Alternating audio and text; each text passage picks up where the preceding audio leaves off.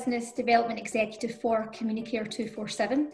And today I'm joined with Julie Eshleman of Leonard Cheshire so that we can discuss the role and the benefits of technology with supporting people that have disabilities. So, Julie, just before we begin our conversation, could you tell us a bit about your role within the world of care? Sure. Yes. So I've I've worked with people with uh, disabilities for about 20 years now. Uh, most of it uh, in the early years was in education settings. I was an autism teacher and a behavior specialist and um, a staff trainer. Uh, and while I was at uni, I was a respite worker in in care uh, in the United States. Uh, and since I've been here, I've been working in um, a disability charity primarily in a project management role uh, in assistive technology, trying to uh, oversee testing of different pilots of technology to see uh, if we can find new, cool ways to make people's um, jobs easier and better and more enjoyable for care workers uh, and uh, the services that people who are in care receive better uh, and more uh, have a positive impact on their lives. So more of a project management role recently. Yeah, no, absolutely. That that sounds wow, a twenty-year career, so to speak. So, if you don't mind then what types of technologies have you and your organisation explored in the past? Sure. So we we're looking at technologies kind of at two different levels, kind of uh, in the same streams that I just mentioned. Uh, that we want technologies that can make um, people who are providing care services make their jobs a little bit easier, a little bit more enjoyable, maybe automate some of the um, less uh, less enjoyable or mundane data kinds of tasks uh, to free them up to have more social engagement and higher quality interactions uh, yeah. in in their support roles. Uh, so we look for technology that can help us do that well, uh, and then we're also looking for um, assistive technology which can be used to empower people and give them a little bit more uh, equality of choice uh, with people who have a little bit more uh, freedom around using their own finances to obtain kit.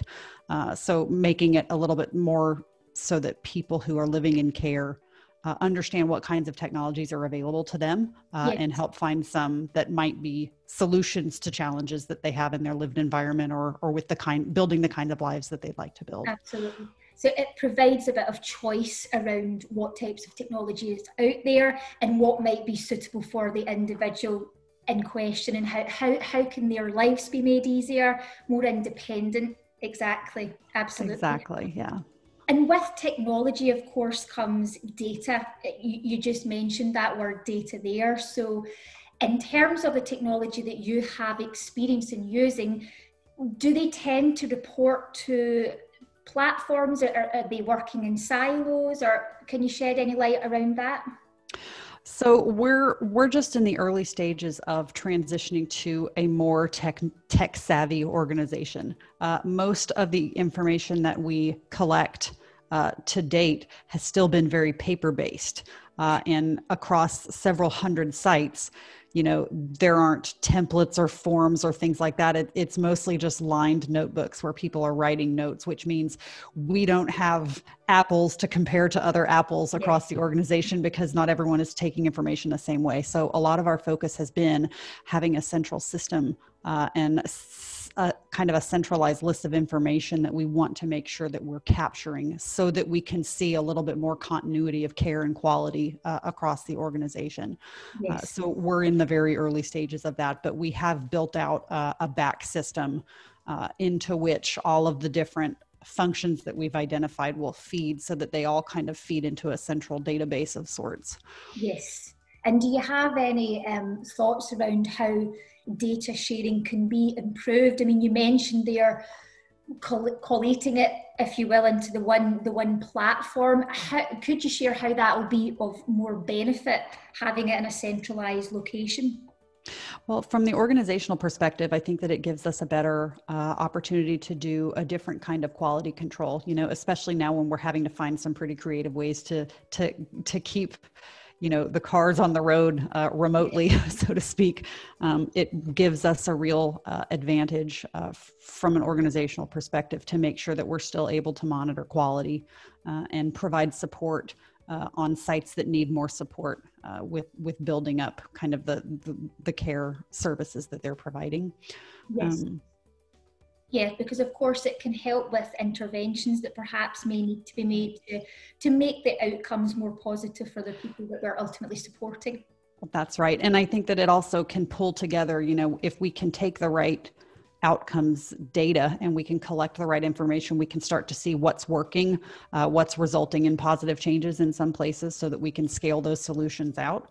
Uh. And we can also see what kinds of things might not be working quite as well or might not be worth uh, quite as big of an investment to scale out, or that we need to be very precise with um, the kinds of customers that we scale that solution to. So all of that information just empowers us to make decisions that that can improve our services and ultimately um, make sure that the services that our customers are receiving are are top notch.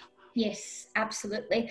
And just with your kind of experience in this field, you know, do you feel there's anything currently missing from the world of technology that, you know, is there anything you would like to see from providers um, in terms of evolution? What what are the next up and coming products?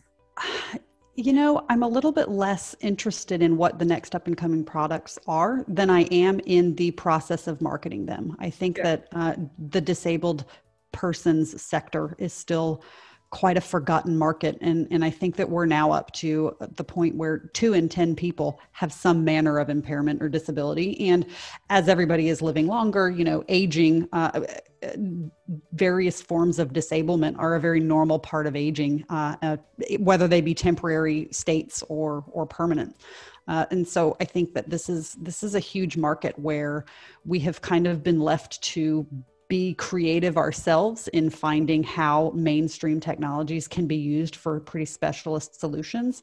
I would be very interested to see technology companies engage a lot more with the disabled community so that they can start marketing their products for those uses, right? You kind of know the basic features of an iPhone because they show off in their commercials about cameras and, you know, the good camera quality and these good apps or things like that. So the mainstream kinds of technology features are always highlighted because it's always been presumed that that's the main part of the market and it still is. But but there is a massive consumer base with resources available to them and they don't know how to use mainstream technology because it's not it's not shown how it can be used. So I would really like to see technology companies do a little bit of a better job um, marketing their products to the disabled community so that we're not um, kind of coming up with uh, round the back door solutions or you know kind of uh, stitching together different pieces of kit to try to find something that would be a good solution to issues when the tech providers and the creators are acutely aware of all of the functionality of theirs. So if they if they became acutely aware of some of the challenges people with impairments and disabilities have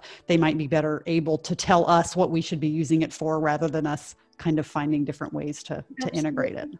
Absolutely 100% and that that's a really good point to make and something that you know here communicator we can take on board and equally anyone else listening to this this short clip today. So I mean, I just want to, you know, say thank you very much, Julie, for joining me this afternoon. Um, and I'll look forward to speaking with you again soon, hopefully. Sure. Thanks very much for having me. I appreciate it. Thank you.